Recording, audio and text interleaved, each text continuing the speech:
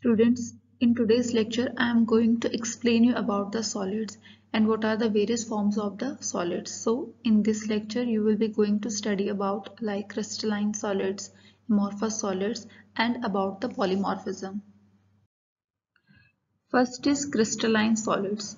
So, as you all know that the solid state of matter is the most important state in pharmaceutics since the starting material for most formulation and majority of formulation that are taken orally uh, for that uh, the starting material is uh, that is present in the solid form so it is very important to have a proper knowledge about these forms of solids because क्या हो सकता है कि ये जो change होता है इनके फॉर्म्स में it can further effect the characteristics of a drug जो कि सॉलिड फॉर्म में प्रेजेंट होंगी सो फ़र्स्ट इसमें आप क्रिस्टलाइन सॉलिड्स है तो क्रिस्टलाइन सॉलिड्स आपने पहले भी पढ़ा होगा।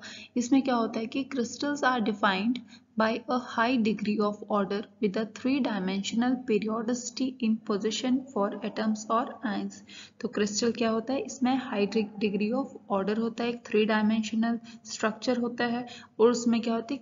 पीरियोडिसिटी होती है, एक रिपीटिशंस होते हैं, और जो एटम्स है आयंस है या मॉलिक्यूल जो है वो प्रॉपरली अरेंज्ड होते हैं एक पोजिशन में ठीक है Thus, the structural unit of crystalline solids are arranged in fixed geometric patterns or lattices. तो अब इसमें क्या होगा कि जो भी क्रिस्टलाइन सॉलिड्स है जो उनका स्ट्रक्चरल यूनिट है वो एक फिक्स जोमेट्रिक पैटर्न में अरेंज होता है। जैसे यहाँ पे हमने जो एग्जांपल दिया है that is of sodium chloride तो सोडियम क्लोराइड जो है, वो एक क्रिस्टलाइन सॉलिड है और इसमें आप देख सकते हो कि इसकी क्या है, एक प्रॉपर जोमेट्री है, एक प्रॉपर पैटर्न है और जो इसके आइंस है, वो प्रॉपरली इन ऑर्डर्ड फॉर्म में अरेंज्ड है। अब इसमें हम जब भी क्रिस्टलाइन के बारे में जब स्टडी करते हैं तो इसमें कुछ टर्म्स आती है लाइक यहाँ पे हमने लिखा है this lattice and unit cell तो what are these lattices and unit cells तो सबसे पहले लेटिस जो होता है that represents the arrangement of the constituent particles तो यहाँ पे जो पार्टिकल्स है, वो क्या है? वो एटम्स भी हो सकते हैं, वो आयंस भी हो सकते हैं, या वो मॉलिक्यूल्स भी हो सकते हैं. अब जैसे हमने यहाँ पे जो एग्ज़ाम्पल लिया है किसका? सोडियम क्लोराइड का. तो इसमें जो है एन पॉजिटिव सी नेगेटिव जो है, यहाँ पे हमने मैंशन किए हैं. तो these are the constituent particle तो इनका किस टाइप का अरेंजमेंट है? इस क्रिस्टलाइन स्ट्रक्चर में दैट रिप्रेजेंट्स द लेटेसिस ठीक है?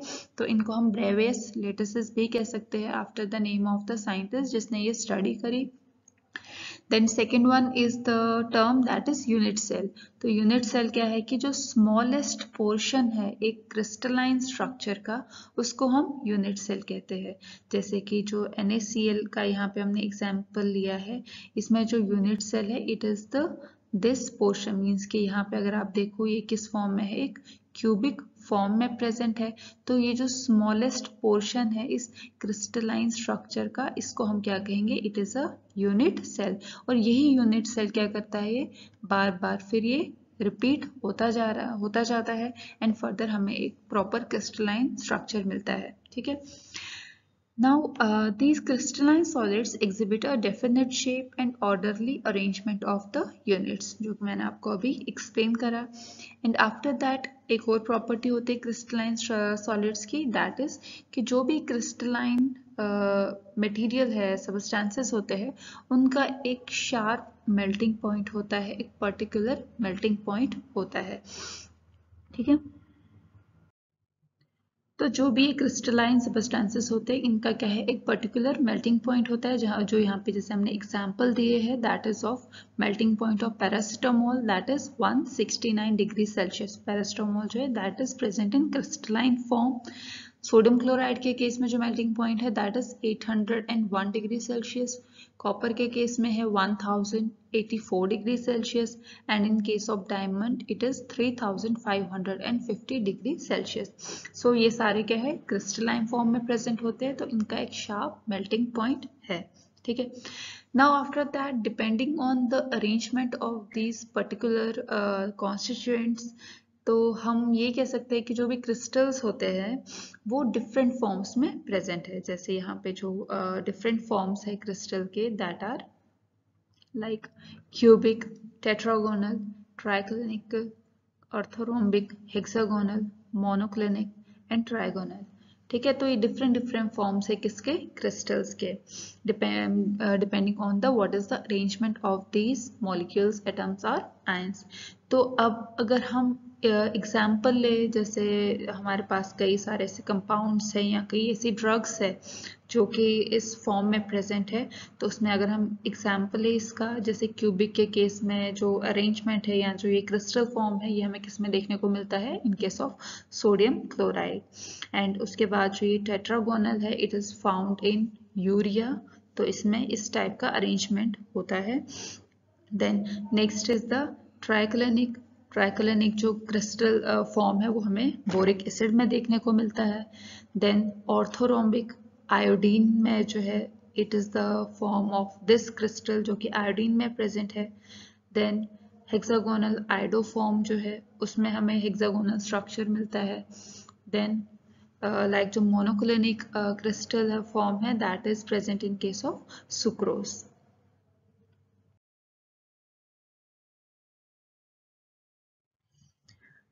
Now the next point that is to be considered in the crystalline form is the melting point and the intermolecular forces. So in this जो melting point है उसके लिए हम एक और term use करते हैं that is the heat of fusion and this heat of fusion may be considered as the heat required to increase the interatomic or intermolecular distance in crystal thus allowing melting to occur. तो heat of fusion क्या है कि कितना आपको heat देना पड़ रहा है दो मॉलिक्यूल्स के बीच में जो बॉन्ड है उसको ब्रेक करने के लिए और यू कैन से दो मॉलिक्यूल्स के डिस्टेंस को बढ़ाने के लिए। क्योंकि जब भी वो डिस्टेंस बढ़ेगा after that there will be the melting ठीक है? तो ये जो है मेल्टिंग या सॉरी ये जो हीट ऑफ़ फ्यूजन है कि कितना आपको हीट देना पड़ रहा है that on the intermolecular forces between uh, जो भी आपके constituent particles है ठीक है so A crystal that is bound together by weak forces there will be low heat of fusion and their melting point will be low ठीक है तो molecules के बीच में अगर बॉन्डिंग जो है इंटरमोलिकुलर फोर्सेस अगर कम है वीक फोर्सेस है तो आप उसको इजीली ब्रेक कर सकते हो। तो आपको कम हीट की रिक्वायरमेंट है। तो दैट मीन्स उस जो कंपाउंड है, उसकी मेल्टिंग जो है, वो इजीली पॉसिबल है। तो इसीलिए उसका मेल्टिंग पॉइंट जो है, वो कम होगा। एंड इन केस अगर इंटरमोलिकुलर फोर्सेस ज़्यादा होंगे तो आपको ज़्यादा हीट आपको देना पड़ेगा। तो फर्दर जो मेल्टिंग है that will take time to attain तो इसीलिए मेल्टिंग पॉइंट की वैल्यू जो है, वो भी इंक्रीज हो जाएगी। अब इसमें जो एग्ज़ाम्पल है, इसमें हम हाइड्रो सैचुरेटेड हाइड्रोकार्बन का लेते हैं। तो इसमें ये देखा गया Uh, based on this principle, the melting point of normal saturated hydrocarbon increase with molecular weight. तो जो भी saturated hydrocarbons है जैसे जैसे उनका molecular weight बढ़ जाएगा उनका melting point जो है वो भी increase होता जाएगा क्यों क्योंकि जैसे जैसे molecular weight बढ़ रहा है तो that means वहाँ पे जो carbon atom है वो इंक्रीज हो रहा है और जैसे जैसे कार्बन एटम जो है वो इंक्रीज होगा तो उसमें उतना ही ज़्यादा जो van der Waal forces present है बिटवीन द मॉलिक्यूल्स जो कि क्रिस्टल फॉर्म में प्रेजेंट है तो जैसे जैसे उनका कार्बन नंबर बढ़ जाएगा तो उनके बीच में जो फोर्सेस है वो भी इंक्रीज होते जाएँगे, जिससे कि उनका मेल्टिंग पॉइंट जो है वो भी इंक्रीज होगा, क्योंकि आपको और ज़्यादा हीट जो है उसकी रिक्वायरमेंट है वहाँ पे in order to break that bond ठीक है? इसी तरह से हमारा एक और एग्ज़ाम्पल है that is of the alkanes तो एल्केन्स में है, अगर एल्केन्स में ऑड जो है कार्बन एटम्स प्रेजेंट है, या एक हमारा केस है कि अगर एल्केन्स में even number of carbon present है तो अगर हम इनको कंपेयर करें तो इस केस में क्या होगा कि जो भी एल्केन्स जिनमें odd number of carbon present होंगे, उनका इंटरमोलिकुलर फोर्स जो है वो कम होगा तो इस वजह से उनका मेल्टिंग पॉइंट जो है वो भी कम होगा, ठीक है? और अगर even number of carbon atoms present है, उस केस में बॉन्डिंग ज़्यादा होगी तो मेल्टिंग पॉइंट भी जो है वो उस केस में ज़्यादा ही होगा। तो इस, इसके पीछे रीज़न क्या है एक्चुअली कि जो भी एल्केन्स होते हैं, जिनमें और नंबर ऑफ़ कार्बन प्रेजेंट होते हैं तो वो कार्बन जो है वो इफ़िशियंटली पैक नहीं हो पाते एक क्रिस्टल में। तो दैट्स वाई वो फर्दर किसको इफ़ेक्ट करता है उनके इंटरमोलिकुलर फोर्सेस को so that's why it also affects the melting point of these compounds Next form of the solid is the amorphous solids. So it is a state of substance that consists of a disordered arrangement of molecules. तो जो भी substances के molecule जो है वो एक proper arrangement में ना प्रेजेंट हो, वो रैंडमली अरेंज्ड है डिसऑर्डर्ड है तो उन सॉलिड्स को हम क्या कहेंगे? That are the amorphous solids then this may be considered as super cooled liquids in which molecules are arranged in random manner तो जो भी एमोरफस सॉलिड्स है, इनको हम क्या कहते हैं? सुपर कूल्ड लिक्विड्स भी कहते हैं। और ये सुपर कूल्ड लिक्विड्स के बारे में मैंने आपको भी जो प्रीवियस लेक्चर था, उसमें भी मैंने आपको एक्सप्लेन किया on the basis of graph कि अगर आपके पास कोई कंपाउंड लिक्विड फॉर्म में है and you have to solidify that liquid तो आप क्या करोगे? उसकी कूलिंग करोगे।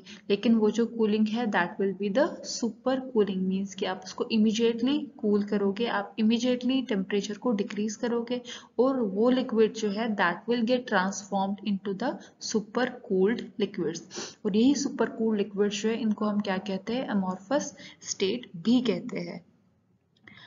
Then These amorphous substances do not have characteristic melting point. तो जैसे ग्लासी स्टेट में भी आपने क्या देखा एक पर्टिकुलर मेल्टिंग पॉइंट नहीं होता एक शार्प मेल्टिंग पॉइंट नहीं होता। इसी तरह से जो भी amorphous substances होते हैं इनका एक sharp particular melting point characteristic melting point नहीं होता है। ठीक है? तो इसमें क्या होगा कि जब आप लाइक uh, टेम्परेचर like को डिक्रीज करते हो एक लिक्विड को सॉलिडिफाई करने के लिए तो जो वो उसका पॉइंट आएगा जहाँ पे लिक्विड सॉलिड स्टेट में जा रहा है तो उस टेम्परेचर पे क्या होगा? वो बहुत ही ज़्यादा विस्कस फॉर्म में होगा, जिससे कि क्या होगा कि जो मॉलिक्यूल्स है वो प्रॉपरली उसमें अरेंज नहीं हो पाएँगे, वो रैंडमली अरेंज होंगे and it will gain an gain amorphous state then common example जो है अमॉर्फस सॉलिड्स के that are glass and plastics After that, the amorphous character is common with polymeric molecules and large peptides and proteins. तो जो भी polymeric molecules है या large peptides है proteins है तो उनमें भी कौन सा character देखा जाता है amorphous character. Now, as I already told you in your solubility chapter कि जो भी amorphous solids है उनकी अगर हम stability को compare करें क्रिस्टलाइन फॉर्म से तो एमोरफस फॉर्म की स्टेबिलिटी कम होती है क्रिस्टलाइन फॉर्म के कंपैरेटिवली ठीक है? बट एमोरफस सॉलिड्स जो है उनका एक प्लस पॉइंट है अगर हम फार्मास्यूटिकल पॉइंट ऑफ़ व्यू से देखें दैट इज़ कि जो एमोर्फस सॉलिड्स है that have higher dissolution and higher solubility than crystalline form और उसके पीछे रीजन क्या है? कि सपोज़ आपके पास कोई एक क्रिस्टलाइन प्रोडक्ट है, ठीक है? आपको क्या करना है कि जो उसके क्रिस्टल्स में जो मॉलिक्यूल्स जो प्रेजेंट है आप जस्ट जब हम रेजोल्यूशन की बात करते हैं तो दैट मीन्स कि जो मॉलिक्यूल्स है, वो क्या हो रहे हैं? Escape आउट हो रहे हैं फ्रॉम अ क्रिस्टल हैबिट ठीक है? तो अब अगर आपकी कोई ड्रग है क्रिस्टलाइन फॉर्म में प्रेजेंट है तो आप क्या कर रहे हो? उसको एनर्जी प्रोवाइड कर रहे हो। तो वो जो क्रिस्टलाइन सबस्टेंस होगा that will need more energy so that कि जो मॉलिक्यूल है, वो क्रिस्टल से एस्केप आउट हो सके, ठीक है? और कंपैरेटिवली अगर आपके पास कोई एमॉर्फस सबस्टेंस है तो उस केस में आपको लेस एनर्जी देनी पड़ती है ताकि वो मॉलिक्यूल जो है, वो एक अपने पर्टिकुलर स्पेस से एस्केप आउट हो, ठीक है? तो क्रिस्टल से एस्केप आउट होना जो है that is more difficult as compare कि अगर आपके जो मॉलिक्यूल्स है, वो आपके रेंडमली अरेंज्ड है। So that's why amorphous solids है उनका डेजोल्यूशन या सॉलिबिलिटी जो है वो हायर है as compare to the crystalline form and उसके बाद अगर हम ड्रग्स की बात करें तो नेचुरली कुछ ही ऐसी ड्रग्स है जो कि अमॉर्फस फॉर्म में प्रेजेंट है। तो मोस्टली जो ड्रग्स होती है, वो क्रिस्टलाइन फॉर्म में ही प्रेजेंट होती है। तो जो यहाँ पे जैसे हमने जो एग्ज़ाम्पल दिया है ड्रग्स का that are present in the amorphous form that is Accupril जो कि हम बीपी में यूज़ करते हैं, या इंट्राकोनाजोल हो गया that is use for acne medication तो कुछ और फ्यू एग्जाम्पल्स है ड्रग के जो कि अमॉर्फस फॉर्म में प्रेजेंट होती है। तो मोस्टली लेकिन जो ड्रग है that are present in the crystalline form now अब हमारी रिक्वायरमेंट क्या है? That is the therapeutic activity तो बायोलॉजिकल एक्टिविटी जो है वो ज़्यादा होनी चाहिए एक ड्रग की और वो कब ज़्यादा होगी? जब उसका डेजिलेशन या सॉलेबिलिटी जो है वो ज़्यादा होगी। तो इसीलिए अब अगर आपके पास कोई ड्रग है and that is present in the crystalline form तो उसकी थेरापेटिक इफेक्टिवनेस को इंक्रीज करने के लिए आप क्या कर सकते हो? उसके लिए क्या अप्रोच आप यूज़ कर सकते हो? You will convert its crystalline form into the amorphous form ठीक है? तो उसके लिए हम कई मेथड्स यूज़ करते हैं तो जो हम मेथड यूज़ करेंगे to induce the amorphous character in the crystalline form that are first जो है that is the condensation from vapour state तो जो भी आपके क्रिस्टलाइन ड्रग है, आप उसको लिक्विड में कन्वर्ट करो देन जो उसके हीट करके जो उसके वेपर्स बनेंगे, उनको आप कंडेंस करो तो वो जो है material that will get into the amorphous state after that next जो है that is the super cooling of the melt again ये मैंने आपको अभी पीछे भी एक्सप्लेन करा है कि जो भी लिक्विड्स है, अगर क्रिस्टलाइन फॉर्म में कोई आपका कंपाउंड प्रेजेंट है, आप उसको लिक्विफाई करो।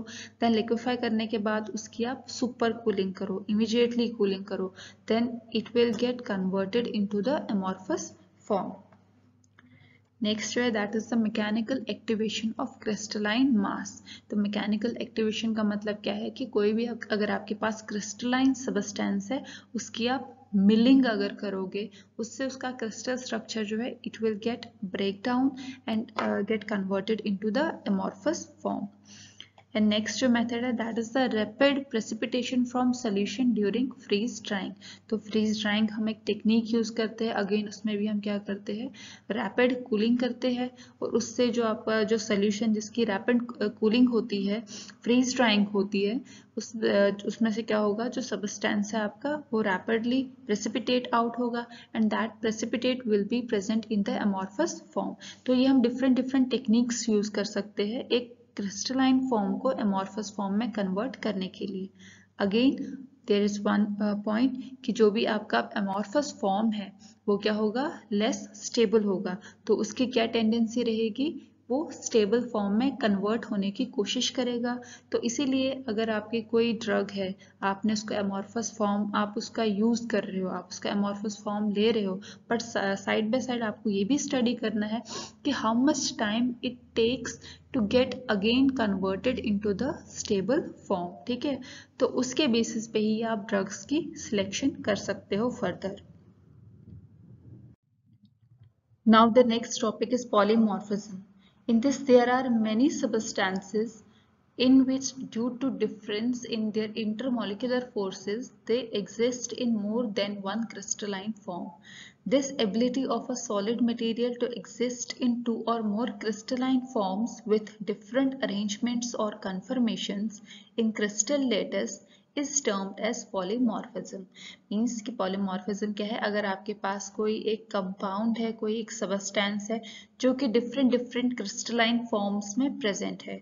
सपोज़ आपके पास अगर कंपाउंड ए है and it is present in cubic form hexagonal form and also in orthorhombic form तो इसको हम क्या कहेंगे? जो ये एबिलिटी है एक कंपाउंड की डिफरेंट फॉर्म्स में प्रेजेंट होने की it is known as the polymorphism और ये जो डिफरेंट डिफरेंट फॉर्म्स है that is cubic hexagonal orthorhombic forms जो इनको हम क्या कहेंगे?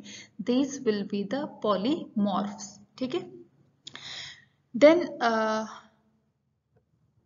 if the crystal former is an element uh, then different polymorphic forms are termed allotropes means कि अगर जो crystal former एक element है तो उस element के जो different different forms होंगे उनको हम क्या कहेंगे allotropes and uh, जो uh, एक कंपाउंड जो डिफरेंट डिफरेंट फॉर्म्स में प्रेजेंट है, अब डिपेंडिंग ऑन कि वो कितने फॉर्म्स में प्रेजेंट है, वो दो फॉर्म्स में प्रेजेंट है, तीन फॉर्म्स में प्रेजेंट है फोर फॉर्म्स में प्रेजेंट है, कितने फॉर्म्स में प्रेजेंट है, उसके अकॉर्डिंगली उसको एक उसके लिए एक टर्म यूज़ की जाती है। जैसे कि सपोज़ आपका कोई कंपाउंड है and that is present in two forms तो उसको हम क्या कहेंगे? डाइमॉर्फिक जैसे कि इसका जो सिंपल एग्ज़ाम्पल है दैट इज़ कार्बन तो कार्बन ग्रेफाइट फॉर्म में प्रेजेंट है and it is also in diamond form तो ये इसके दो पॉलीमोर्फ्स है। तो इसीलिए इसको हम क्या कहेंगे? इट इज़ अ डाइमॉर्फिक इसी तरह से अगर कोई कंपाउंड के लाइक थ्री क्रिस्टलाइन फॉर्म्स है तो उनके लिए हम टर्म जो यूज़ करेंगे that will be trimorphic and so on जैसे जैसे अकॉर्डिंगली जो जितने भी फॉर्म्स होंगे तो उनके लिए हम डिफरेंट डिफरेंट टर्म्स जो है वो यूज़ करेंगे फर्दर एंड इनमें क्या होता है, जो भी ये पॉलीमॉर्फ्स होते हैं, इनका जो केमिकल कंपोजिशन होता है, वो सेम होता है. बट सिर्फ़ उनका अरेंजमेंट या फिर जो स्ट्रक्चर है, वो डिफरेंट होता है. So as the polymorphs are chemically same means कि अगर आपके पास एक पर्टिकुलर कंपाउंड है और उसके डिफरेंट डिफरेंट पॉलीमॉर्फ्स है, उन पॉलीमॉर्फ्स का जो केमिकल कंपोजिशन होगा दैट विल बी सेम जिसकी वजह से उसका जो केमिकल प्रॉपर्टीज़ है this will be also same but difference कहाँ आता है उनमें? It is in their crystalline structure तो क्योंकि पॉलीमॉप्स का जो क्रिस्टलाइन स्ट्रक्चर है, वो डिफरेंट है, जिसकी वजह से फर्दर उनकी कुछ फिजिको केमिकल प्रॉपर्टीज़ है, वो भी इन्फ्लुएंस होती है और वो भी डिफरेंट होती है हर एक पॉलीमॉर्फ में। तो फिजिको केमिकल प्रॉपर्टीज़ में से कौन कौन सी प्रॉपर्टीज़ है? First is the dissolution rate then melting point then X ray diffraction vapour pressure intrinsic solubility, flow rate and biological activity.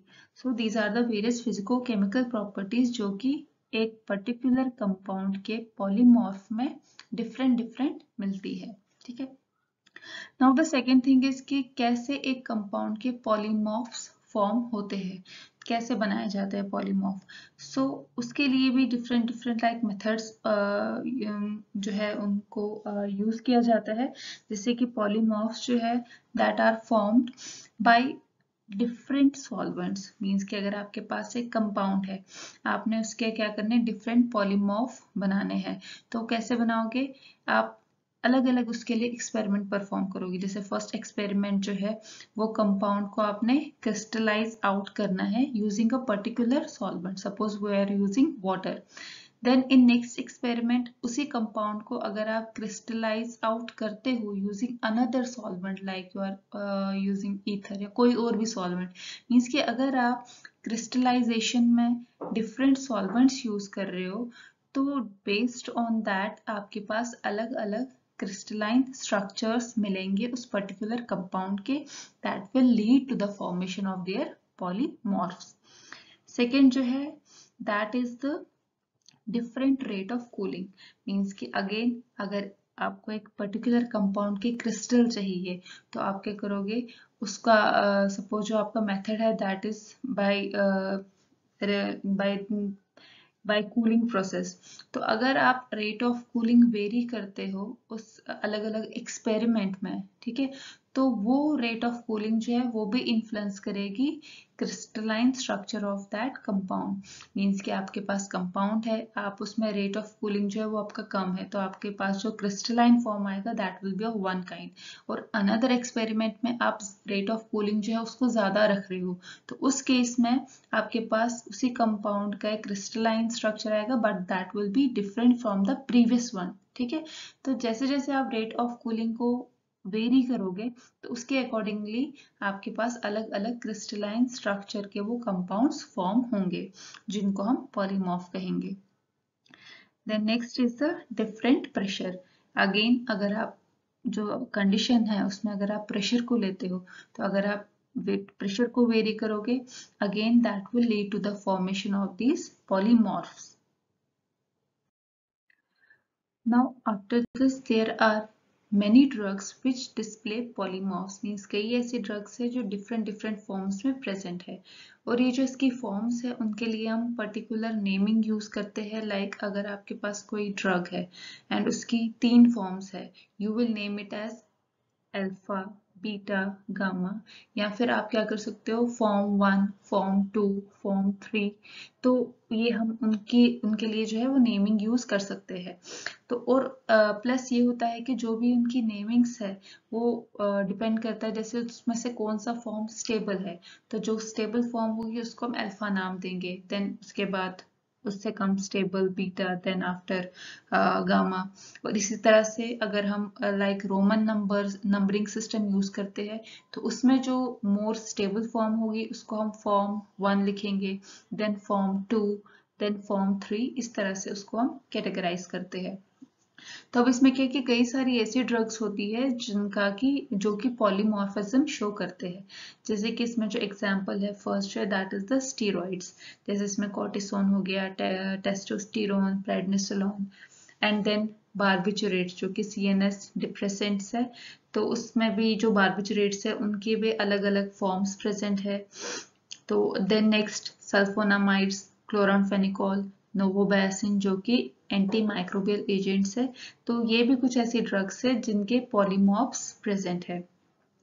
After that next is the type of polymorphs तो जो पॉलीमॉप्स है, वो दो टाइप्स के होते हैं monotropic and एनेंशियोट्रॉपिक monotropic क्या होता है कि मोनोट्रॉपिक का मतलब है कि सपोज़ आपके पास एक पर्टिकुलर कंपाउंड है एक्स और उसके पॉलीमॉर्फिक जो फॉर्म्स है that is A and B तो इसमें से अब क्या होगा? एक पॉलीमॉर्फ जो है वो स्टेबल होगा और दूसरा पॉलीमॉर्फ जो है वो मेटास्टेबल होगा। तो इस केस में जैसे सपोज़ इस तरह से होगा कि अब ये जो ए है इट इज़ मेटास्टेबल तो मेटास्टेबल की कोशिश क्या रहती है? वो स्टेबल फॉर्म में कन्वर्ट हो जाए। तो तो क्या होगा कि जो ये फॉर्म ए है विथ टाइम वो कन्वर्ट हो जाएगा स्टेबल फॉर्म में दैट इज़ बी बट उसके बाद जब ये बी में कन्वर्ट होगा बी दोबारा से ए में कन्वर्ट नहीं होगा। That means this is the irreversible process जहाँ पे सिर्फ़ एक फॉर्म दूसरे फॉर्म में कन्वर्ट हो रही है। तो ये टाइप के जो पॉलीमॉर्फ मॉप्स होते हैं, उनको हम क्या कहते हैं? Monotropic then second one is the enantiotropic enantiotropic में क्या होता है? जैसे मोनोट्रॉपिक में इरिवर्सिबल कन्वर्जन था बट एनेंशियोट्रॉपिक में रिवर्सिबल कन्वर्जन होता है। तो इसमें क्या है कि सपोज़ अगेन आपके पास कोई पर्टिकुलर कंपाउंड है और उसके जो पॉलीमॉर्फिक फॉर्म्स है that are P and Q ठीक है? अब इसमें क्या होगा कि पी की टेंडेंसी होगी क्यू में कन्वर्ट होने की और उसके बाद देयर आर चांसेस कि क्यू जो है वो दोबारा से पी में कन्वर्ट हो जाए। जैसे कि अगर सपोज़ आपके पास कोई ड्रग है, उसका पॉलीमॉर्फिक फॉर्म है, यहाँ पे हमने इसको पी से रिप्रेजेंट किया है तो यहाँ पे हम जो ये कन्वर्जन दिखेंगे यहाँ पे, इसको हम रिप्रेजेंट करते हैं कि जो पी है, वो क्यू में कन्वर्ट होता है एक पर्टिकुलर टेम्परेचर पे और उस टेम्परेचर को हम क्या कहते हैं? ट्रांजिशन टेम्परेचर तो अब क्या है?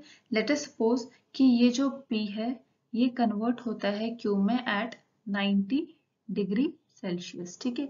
तो 90 डिग्री सेल्सियस जो है it is the transition temperature of this polymorph तो अब अगर टेम्परेचर 90 से कम होगा तो जो ये P फॉर्म है दैट विल बी स्टेबल और अगर जब आप इसको टेम्परेचर प्रोवाइड करो, आप टेम्परेचर बढ़ाओगे, जब ये 90 पे पहुंचेगा तो P जो है वो कन्वर्ट हो जाएगा क्यू में तो अब क्यू जो है it will be a stable form तो दैट मीन्स कि क्या है, कि जो पॉलीमॉर्फिक फॉर्म है P it is stable below 90 degree Celsius and this polymorphic form that is Q it is stable above 90 degree Celsius और उसके बाद फर्दर अगर आप इस Q की कूलिंग करते हो, अगर आप दोबारा से टेम्परेचर को डिक्रीज करते हो तो अगेन जब ये 90 पे आएगा it will get converted into the P.